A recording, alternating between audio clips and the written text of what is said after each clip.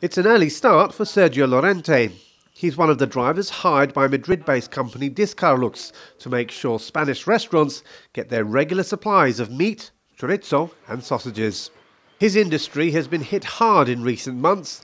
Half the country's truck drivers are self employed and have gone on strike recently to protest the 40% increase in fuel prices in the last year alone. Transport costs are set to get even higher. This year, the government will put in place plans to reduce their carbon emissions by over 20% by the end of the decade.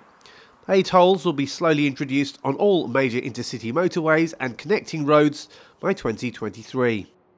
Seguro que nos va a afectar, seguro que nos va a afectar y tenemos que sumarlo a otros paquetes como la subida de combustible, a otros tipos de, de transporte, porque nosotros tanto enviamos como recepcionamos.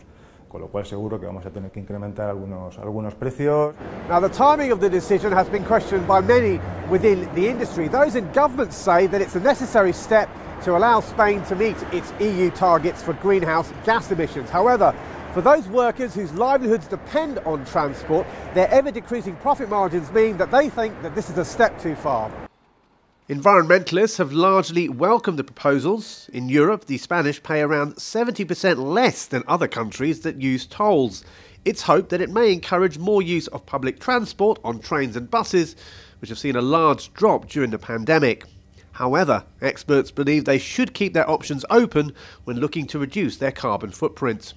que hay que alguna carga impositiva, se pusiera previamente. Es decir, aquellos vehículos más contaminantes, aquellos vehículos de tipo diésel, etcétera, tuvieran un impuesto superior, pero ya de entrada se movieran por donde se movieran.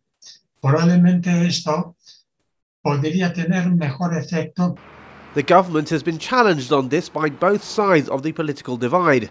They may have to consider concessions for an industry that has been badly hit. Spanish Prime Minister Pedro Sanchez and his coalition can expect some tough questions ahead before they get the green light on any new legislation.